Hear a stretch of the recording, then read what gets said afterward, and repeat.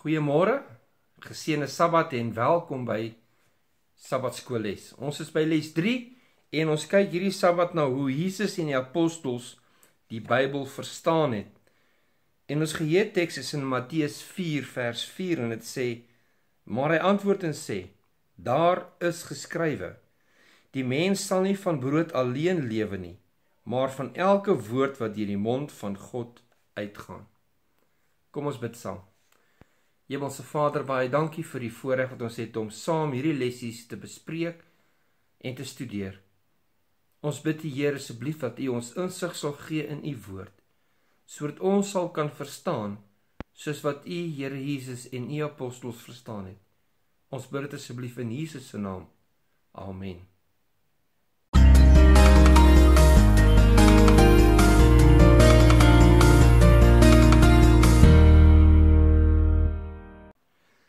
In hierdie postmoderne eeu word die Bybel ongelukkig in 'n groot mate deur die lens van filosofie wat die inspirasie en autoriteit daarvan in twyfel trek, herinterpreteer.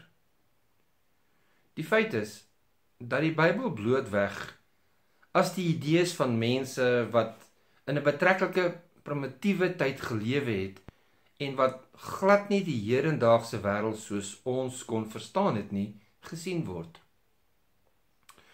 Terselfdertyd word die bonatuurlike element of van minder belang gemaak of selfs verwyder. Wat dan die Bybel 'n dokument maak wat God se sienswyse met die mens in vervang. En die gevolg is dat die Bybel vir baie mense irrelevant geword het in 'n tyd van darwinistiese denke en moderne filosofie. Ons verwerp hierdie sienswyse egter heeltemal. In plaas daarvan kan ons in die Nuwe Testament sien hoe die hele skrif geïnspireer was deur te bestudeer hoe Jesus en die apostels die Ou Testament verstaan het. Die enigste Bybel wat hulle op daardie stadium gehad het.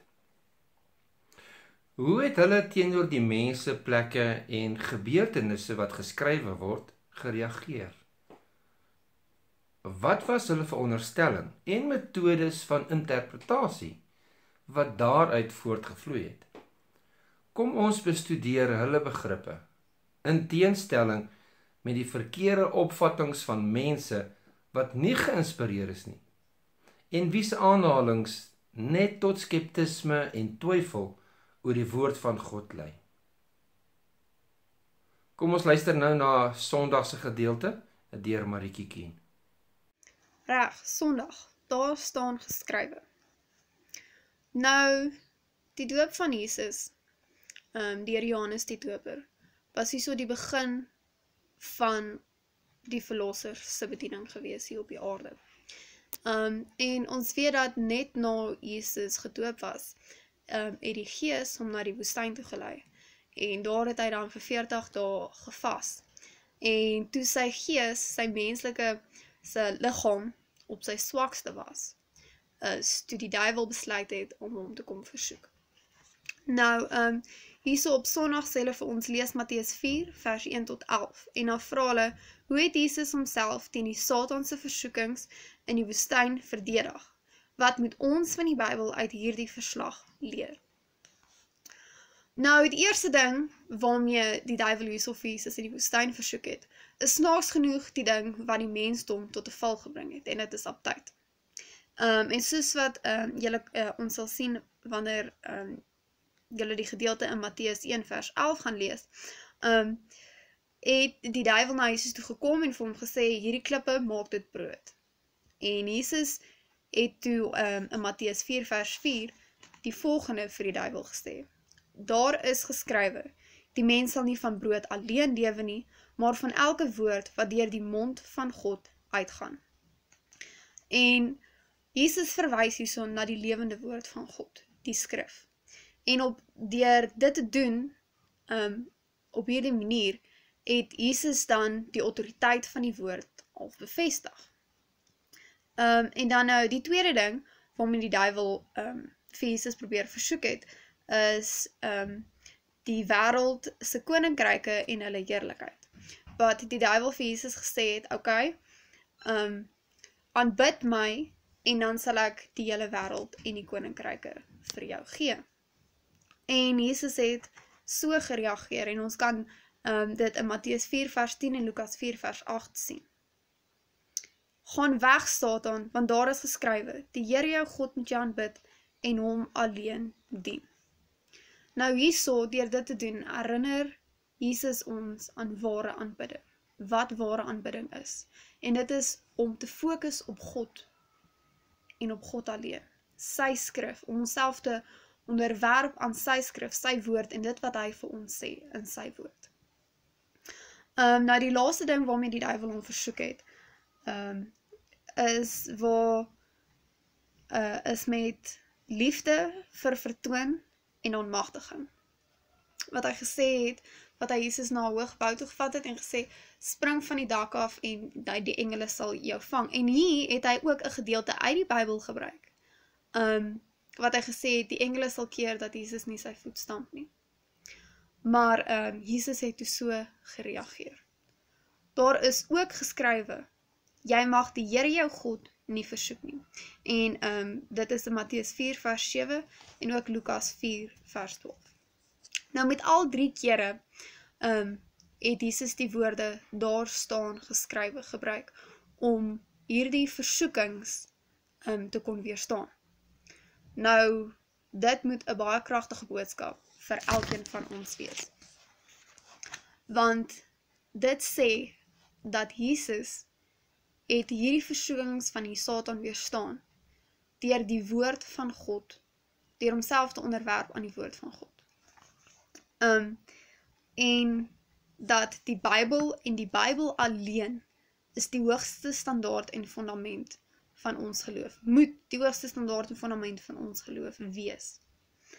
Um en dat Jesus het nie homself beskerm teen die duiwel en die duiwel se aanslag deur slim praatjies of sy eie opinie of deur persoonlike vyandigheid toe te pas nie, maar heeltemal die teenoorgestelde met die een fout maar tog diepsinnige woorde van die skrif is hoe Jesus dit kon weerstaan.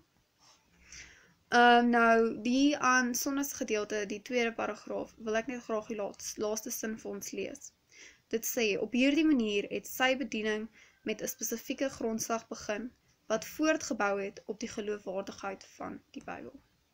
Die vraag onder aan sonnas gedeelte is hoe kan ons leer om net so afhanklik van en onderworpe aan die woord van God te wees soos Christus is?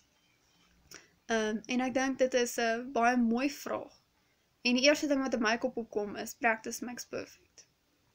Mens gaan nie reg van die begin af 100% jouself askies kan onderwerp aan alles wat die woord van God sê nie. Maar hoe meer mens tyd saam met God spandeer in sy woord, hoe beter gaan mens raak daarmee en basies ek jammer nou vir die Engels, maar practice makes perfect. Kom ons luister nou na Maandag. Ehm um, Rian, baie dankie. Rian de Lange. Maandag, Jesus in die wet. Hulle sê vir ons ons moet lees Matteus 5 vers 17 tot 20, Matteus 22 tot vers 29 en dan Matteus 23 vers 2 en 3. Dan vra die vraag: Wat sê Jesus in hierdie kontekste? Nou as ons daarna gaan kyk, almal van ons ken dit, is bekende skrifgedeeltes, so julle kan dit net self gaan lees. Uh maar Jesus het het sy disippels geleer om aan die woord van God en aan die gebooie gehoorsaam te wees. Daar is nooit 'n aanduiding dat hy die autoriteit of die belangrikheid van die skrif betwyfel het nie. Inteendeel, hy het gedurig daarna as die bron van goddelike gesag verwys. En aan die Sadduseërs het hy dan self gesê: "Julle dwaal omdat julle die skrifte nie ken nie en ook nie die krag van God nie." Dis die gedeelte in Matteus 22 vers 29. Jesus het geleer dat om net 'n uh, intellektuele kennis van die Bybel en die leringe daarvan te hê onvoldoende was om die waarheid te ken maar wat meer belangrik is is om die Here van die waarheid te ken omdat hy daardie waarheid is. En dis die gedeelte waar Jesus vir hulle gesê het julle geregtigheid moet groter wees as die van die Fariseërs en die Sadduseërs. En um, anders sal julle nooit in die koninkryk kom nie. Nou die Fariseërs en die Sadduseërs het die skrif geken. Uh, hulle kon hom seker beter opsê as enige mens van ons vandag, maar die essensie, die diepte van die skrif het hulle het hulle nie gedoen nie. En dit is hoekom hulle ook hulle die wet gepraat, maar hulle nie die wet gedoen nie. En daarom het God gesê julle regregtigheid moet groter wees. Nou die enigste manier hoe ons geregtigheid groter kan wees is ons geregtigheid kom van Christus af. So ons moet Christus se geregtigheid aantrek. En en en ons moet die outeur van die skrif, die die gewer van die skrif ken en met hom 'n verhouding hê. Anders help dit ons niks. Ons ken hierdie Bybel so goed. Satan ken hom ook, maar dit help hom niks want hy verwerp die outeur van die skrif. En dan sê hulle ons moet lees met uh Matteus 22 vers 37 tot 40 en dan is dit oor wat oor wat ons sien Jesus se siening oor die wet van Moses. Nou dis waar die skrifgeleerde by hom gekom het en hom gesê het watter een is die grootste gebod? En Jesus hom antwoord jy moet die Here jou God lief hê met jou hele hart en met jou hele siel en met jou hele verstand. Dit is die eerste en die groot gebod. En die tweede wat hiermee gelyk staan, jy moet jou naaste lief hê soos jouself. Aan hierdie twee gebooie hang die hele wet en die profete. Nou soos ons weet, hulle praat van die wet die profete is die Ou Testament. En as 'n mens eintlik mooi daarna gaan kyk is wat Jesus vir hulle sê, die hele Ou Testament, die hele wet en profete is saamgevat in hierdie twee uh hierdie twee gebooie. Uh want as ons dit nou omkeer dan wat dit eintlik vir ons sê is dat die ou testament en die wet van Moses alles wat hy geskryf het al sy geskrifte help ons om hierdie twee gebooie uh, tot uitvoer te bring in ons lewe dit wys ons hoe ons teenoor God moet optree as ons hom liefhet en dit wys ons hoe ons teenoor ons naaste moet optree as ons dan nou werklik wil sê ons het ons naaste lief so ehm um, uh, daarom het hy gesê aan hierdie wet, aan hierdie twee gebooie om die hele wet in voltooi. Ehm um, ek hou van die gedeelte wat Ellen White hier onder aan die bladsy geskryf het. Hulle sê hy Christus het die skrifte as onteenseglike gesag aanvaar en ons moet dit ook doen. Die Bybel moet as die woord van die ewige God as die einde van alle geskille en die grondslag van alle geloof voorgehou word. Daarom ons kan altyd sê ek het my opinie en jy het jou opinie maar wat sê die Bybel? En dan moet ons laat die Bybel die antwoord gee en dan moet ons berus by daai antwoord wat ons kry. Die vraag wat hulle hier onder vra, watter indien enige mededingende bronne van autoriteit, gesin of familie filosofie, kultuur mag dalk jou onderwerping aan die woord van God teenwerk. Nou ja, ehm um, baie keer ons sien dit tradisies en sulke tipe goedes is um, maar sal aan veroorsaak dat mense sekere gedeeltes van die Bybel nie wil aanvaar nie want by tradisie van die kerk is dit reg om tot voorvader geeste te bid of om beeldaanbidding te doen alhoewel die Bybel sê dit is 'n gruwel in God se oë. Uh so daar kan tradisie ons weerhou om die waarheid van die Bybel te aansien. Maar as ons werklik die Bybel ons uh, bron maak van gesag, dan moet ons volgens die Bybel en die Bybel alleen leef. Leraar Craig Baxter, baie dankie. Leraar doen Dinsdag en Woensdag vir ons. Uh dankie leraar. Hallo almal, geseënde Sabbat aan almal. Ek wil net my screen share hier so aansit. OK, daar sê. So ek doen Dinsdag en dit sê Jesus en al die skrifte. Ons eerste vraag daar is lees uh, Lukas 24 vers 13 tot 35 uh, hoe het Jesus die skrif gebruik om die evangelisasie boodskap vir die disippels uh, te leer. Nou ek wil net iets anders hierso opsit. Toe ek bietjie gaan kyk uh in 'n boek A Desire of Ages uh bladsy 795 en daar was uh baie interessante dinge. Nou ek het eers 'n vraag daar gehad. So hierdie um stukkie uh waar ons die antwoord wil uitkry gaan mos nou oor die Emmaus pad en hoe Jesus saam met die hierdie twee manne op die Emmaus pad geloop het. Maar my eenvoudige vraag wat ek gehad het is hoekom as Jesus al die 11 disippels 'n bietjie later ontmoet, hoekom moet hy nou hierdie twee oortuig van iets? En soos ons later in die stukkie sien, dat dit praat uh van Cleopas en ons weet nie wat is die ander persoon se naam nie. Maar dat hulle nie uh prominente disippels was nie. Hulle was nie eintlik deel van die 11 nie, maar hulle hart wou so graag weet wat is die waarheid en uh Jesus het na hulle toe gegaan en vir hulle getroos. En dit sê uh hierson um as they talked of the events that had taken place Jesus longed to comfort them. En hierdie was so belangrik Jesus uh sal na iemand toe gaan en vir hulle troos. So dan het hy begin om die hele stuk te verstaan uh hoekom het Jesus met hierdie uh twee manne gepraat. Nou die hoofdoel hoekom hy met hulle gepraat het was natuurlik uh om ons vraag te beantwoord in die les uh and it says ja in teaching these disciples, Jesus showed the importance of the Old Testament as a witness to his mission. So die Ou Testament was baie belangrik en Jesus het begin uit die Torah uit en toe het die uh uh profete begin verduidelik. So Jesus het basies van kruisiging tot opstanding het hy verduidelik aan hulle.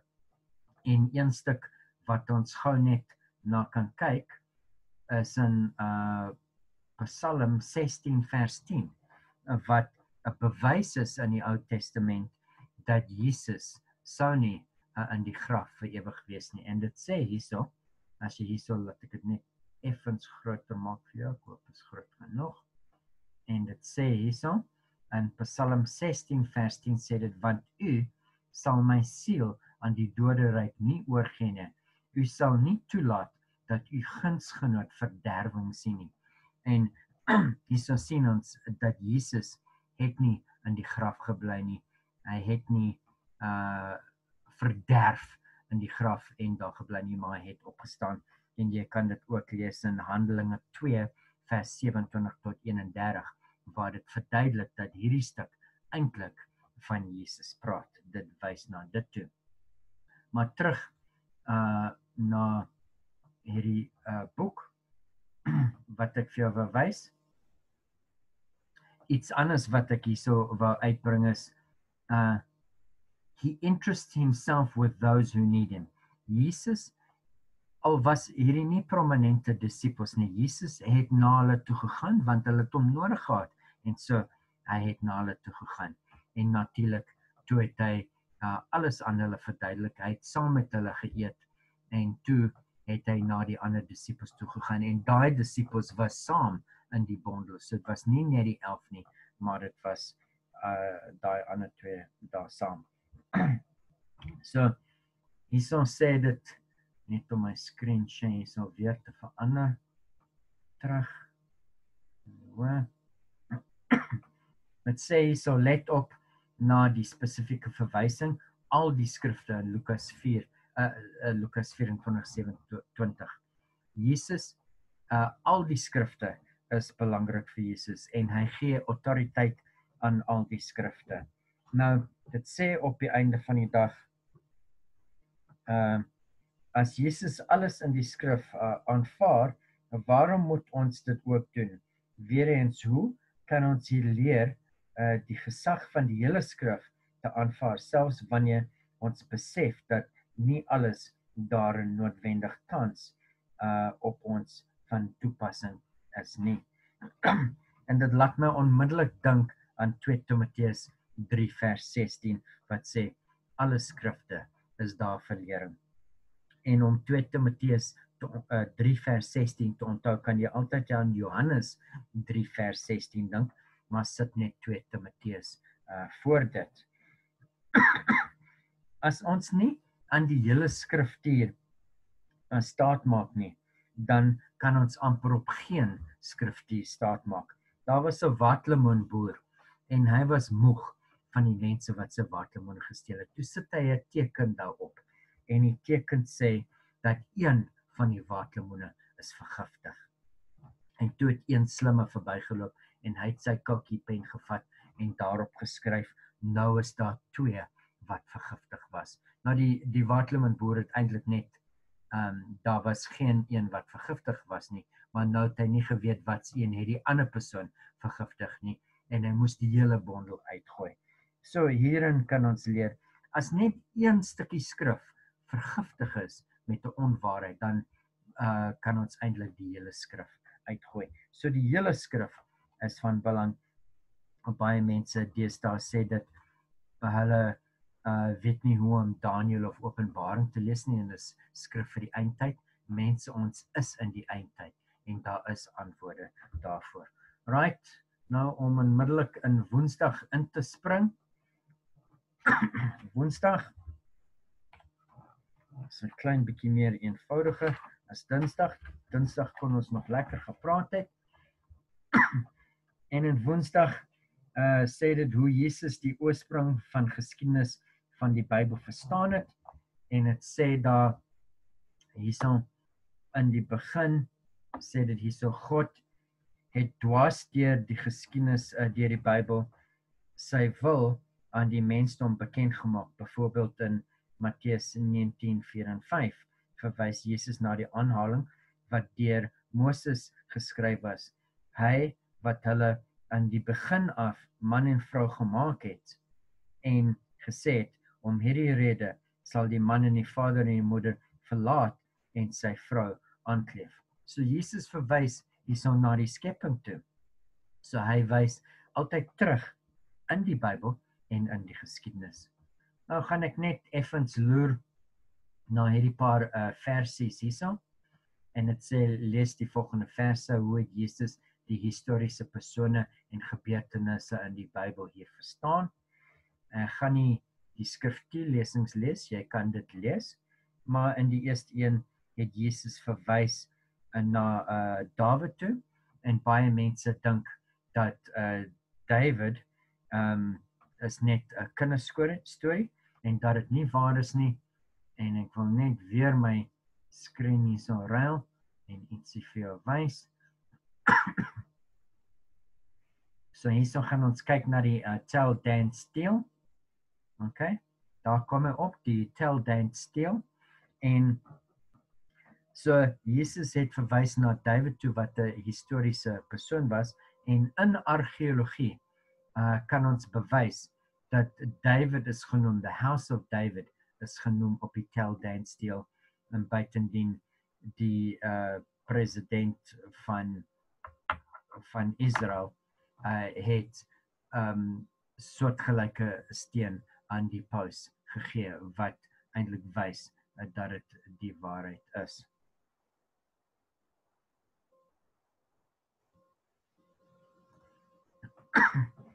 Die tweede een so in Markus 10 vers 6 tot 8 Jesus verwys hierso eh, na die skepping soos wat ons uh, nou net gelees het en in Lukas 4 Ehm uh, hierso praat dit van El Elia en Elisa en weer eens praat dit van mense wat werklik in die geskiedenis was. Dis nie net kinderverhale nie. En in Lukas 11 vers 51 dit praat van Abel tot Sagaria uh mense wat uh, doodgemaak is, mense in die geskiedenis wat in die Bybel was en dan uh, Matteus 24 24:38 wat verwys na Noag en die eindtyd toe hoe Jesus uh um vergelyk Noag uh hoe dit was in die tyd van Noag met die eindtyd wat wys dat Noag uh 'n ware verhaal is. Nou in die Afrikaans het julle nie 'n vraag op die einde van die dag nie, maar in Engels sê dit because Jesus himself refers to the historical people as real, what does it say about the power of Satan's deceptions? What many people today, even professed Christians, often deny their existence. Why must we never fall into this trap? God het oor genoeg bewyse uh in geskiedenis, in argeologie en in profesie. en Satan kan sy bes doen om lens op te maak, maar daar's oor genoeg bewyse vir die wat die bewys wil gaan soek, gaan sien dat die Bybel is waar en Satan se leuns gaan uitkom op die einde van die dag. Johannes 8 vers 44 uh, Satan is die vader van leuns, maar Jesus lieg nie en ons kan in sy hele skriftuur kan ons vertrou. Dankie. Rian, ehm um, help ons bietjie met donderdag. Donderdag, die apostels in die Bybel. Die Nuwe Testamentiese skrywer het die Bybel op dieselfde wyse as Jesus benader. Wat leerstelling, die sedeleer en die vervulling van die profesie betref, was die Ou Testament vir hulle die gesaghebende woord van God. En ons vind niks nêrens waar hierdie manne iets gesê of gedoen het wat die gesag of geloofwaardigheid van enige deel van die Bybel betwis nie. Vraag wat hulle hier vir ons vra is: Wat leer ons uit die verse hieronder oor hoe die apostels die gesag van God se woord verstaan het? En dan vra hulle ons moet lees Handelinge 4 vers 24 tot 26 Handelinge 13 vers 32 tot 36, Romeine 9 vers 17 en Galasiërs 3 vers 8. Ons sê hulle let op hoe in hierdie verse die skrif met die stem van God ooreenstem. In Handelinge 4 net voordat hulle die Heilige Gees ontvang het, het die disippels God vir die bevryding van Petrus en Johannes geloof. In hulle lofprysing verhef hulle hulle stemme en erken God as die Skepper omdat hy deur Dawid sy diensknegt gepraat het. Met ander woorde, Dawid se woorde is God se woorde. In Handelinge 13 vers 32 tot 36 verwys Paulus weer na Dawid, maar sy woorde word aan God toegedig, want in vers 32 sê die belofte wat aan die vaders gedoen is, so hy sien dit as God self wat spreek. In Romeine 9 vers 17 waar daar verwag word dat God die onderwerp sou wees, gebruik Paulus die woord skrif en sê want die skrif sê aan Farao wat eintlik vertolk kan word as want God sê aan Farao. Galasiërs 3 vers 8 word die onderwerp skrif in die plek van God gebruik wat toon hoe naby verwant die woord van God aan God self is. Dit is immer waar dat die Nuwe Testamentiese skrywers eenparig op die Ou Testament as die woord van God gesteun het. En dan verder um, word ons daarop gewys dat daar honderde aanhalinge uit die Ou Testament in die Nuwe Testament is. En een skrifgeleerde het 'n lys van bykant 2688 spesifieke verwysings saamgestel waar 400 uit Jesaja kom, 370 uit Psalms, 220 uit Eksodus ensovoorts. En as daar by hierdie lys sinspelings of temas of beweegredes of motiewe bygevoeg sou word, sou die lys aansienlik langer gewees het. Die boeke van die Nuwe Testament is vol verwysings na die Ou Testamentiese profeseë wat dikwels deur die frase soos geskrywe is. Uh ons sien dit in Matteus, Markus, Lukas, Romeine, Korintiërs en Galasiërs en 1 Petrus. Al hierdie bevestig dat die Ou Testamentiese skrif die fundament is waarop die leringe van Jesus en die profete gegrond is. Goed, dit bring ons dan by Vrydag en ehm um, Hierso is 'n uh, paar gedeeltes wat hulle wil hê ons moet kyk vir verdere studie. Kyk gerus daarna in julle lesboekies. En um, dan is hier 'n aanhaling uit Fundamentals of Christian Education bladsy 432. En uh, dit dit sê dit, dit sê soos volg: Diegene wat die uh, wysheid en doelstellings van God, soos dit in sy woord geopenbaar word, die beste studeer, word manne en vroue wat verstandelik uitstyg en hulle word saam met die groot opvoeder Jesus Christus bekwame werktuie. Christus het die woorde van waarheid aan sy volk gegee en hulle word almal geroep om deel te neem om dit aan die wêreld bekend te maak. Die heil die heiligmaking kan sonder die waarheid die woord Skus Geen heiligmaking kan sonder die waarheid, die woord plaasvind nie. Daarom, hoe noodsaaklik is dit nie dat dit deur almal begryp word nie. Dan vra vir bespreking is hierso uh, drie vrae. Die eerste vraag lees soos volg: As Jesus, die evangelieskrywers en Paulus die Ou Testamentiese geskrifte as die woord van God aanvaar het, Wat sê dit aan ons oor waarom baie van die moderne menings van die skrif deesdae so verkeerd is en waarom ons nie voor hierdie argumente moet soog nie, maar maak nie saak wie dit aanbied nie. Baie belangrik. Jesus het die woord genoem in Johannes 17 vers 17 tot toe hy tot die Vader gebid het, het hy gesê u woord is die waarheid. En daar's wat hy gepraat van die Ou Testament. Ehm um, so ek sal eerder volg wat Jesus sê. Jesus wat die skrifte aangehaal het en gesien het as die woord van God en as die waarheid. Dan vraag 2. is weer 'n lang vraag. Ehm um, so lees saam met my. Hier volg 'n paar dinge wat deur die moderne Bybelse geleerdes weerspreek word om net 'n idee te kry waarheen hulle skeptisme hulle gelei het. Hulle verwerp 'n letterlike 6-dag skepping en aanvaar biljarde jare se evolusie in die plek daarvan. Hulle verwerp 'n sondelose Adam in 'n ongevalle wêreld. Hulle verwerp 'n wêreld waar 'n vloed wat plaasgevind het. Sommige verwerp die werklike bestaan van Abraham. Sommige verwerp die verhaal van die uittog uit Egipte. Sommige verwerp die wonderwerke van Jesus as ook sy liggaamlike opstanding. Sommige verwerp die idee van profeseë wat die toekoms voorspel, waardeur profete waar vooruit vertel wat eeue later of selfs millennia later gaan gebeur. Wat behoort hierdie gevolgtrekkings Ekskuus, aan ons te sê oor wat met mense gebeur wanneer hulle die gesag en geloofwaardigheid van die skrif betwis. Op watter maniere kan ons probeer om sulke mense te help om die waarheid beter en duideliker te verstaan? Wat ek het agtergekom dit help nogal om eers te kyk na die geskiedenis en te sien wat het gebeur in die geskiedenis en dan dan te vergelyk met wat in die Bybel staan. En so kan 'n mens sien dat die ehm um, die Bybel werklik die woord van God is. Vraag 3. As antwoord op die vraag aan die einde van Dinsdag se les, hoe verstaan ons dat die hele skrif deur God geïnspireer is, selfs die dele wat nie noodwendig op ons vandag van toepassing is nie? nou Dinsdag se vraag sê as Jesus alles in die skrif aanvaar, waarom moet ons dit ook doen? Weereens, hoe kan ons leer om die gesag van die hele skrif te aanvaar? Selfs wanneer ons besef dat nie alles daar noodwendig tans op ons van toepassing is nie, bring jy antwoord Sabbat na die klas.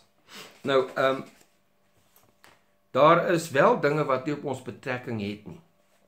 Soos byvoorbeeld die slag van 'n lammetjie. Maar dit wys vir ons die plan van verlossing wat God gehad het en sy genade teenoor die volk.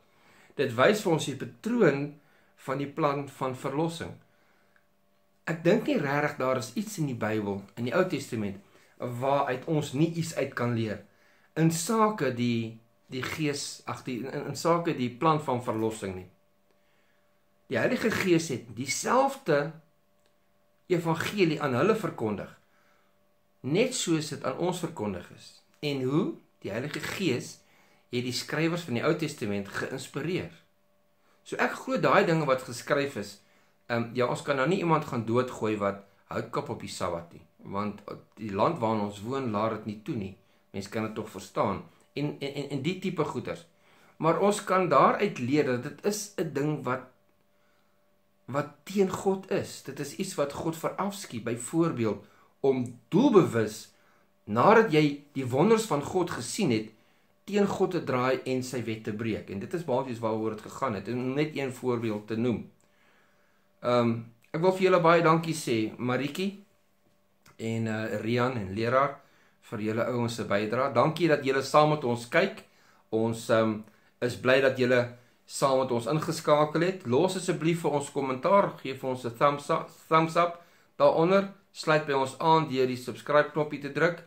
En ehm um, as die Here ons seën broers en susters, dan sien ons mekaar weer volgende week, maar tot dan bly veilig bly tuis en die van julle wat essensiële werke doen, wees veilig en baie dankie vir julle se opofferings. Tot volgende week broers en susters. God se ryke seën.